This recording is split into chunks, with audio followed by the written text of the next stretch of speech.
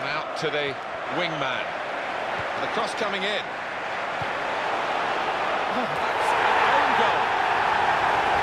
And it comes with the territory, doesn't it, when you're in that kind of position? Alan, have another look at this goal.